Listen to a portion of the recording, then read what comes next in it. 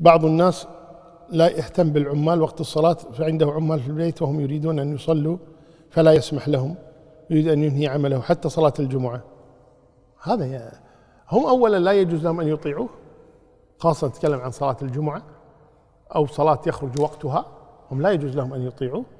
ثم كذلك هو لا يجوز له أن يمنعهم وإذا منعهم من الصلاة لأجل أن ينتهي عمله عمله يعني وبيته الذي يبنيه أو أي شيء يقوم به فهو آثم بهذا والعياذ بالله. نسأل الله لا يبارك له في هذا البيت.